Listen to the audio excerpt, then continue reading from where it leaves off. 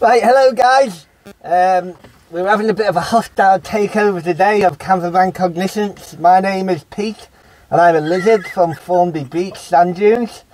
This here is um, a Do close friend of mine. in Formby Beach? What's that? Do they have lizards in Formby Beach? Uh, yeah, there's one less now because I'm not there anymore. I'm here now. You see what I mean? Right. okay. So this is this is my friend Bruce. He likes to dress up as a bat, which I find a bit strange. I no no. I'm identifying as a bat now. You It's all- it's- identify as a bat. It's, it's all the rage to identify as different things.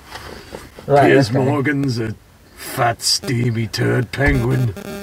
You identify as lizard, which some conspiracy theorists think the royal family are lizards.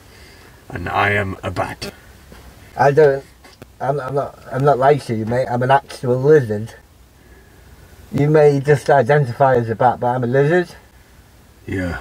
Is that not obvious?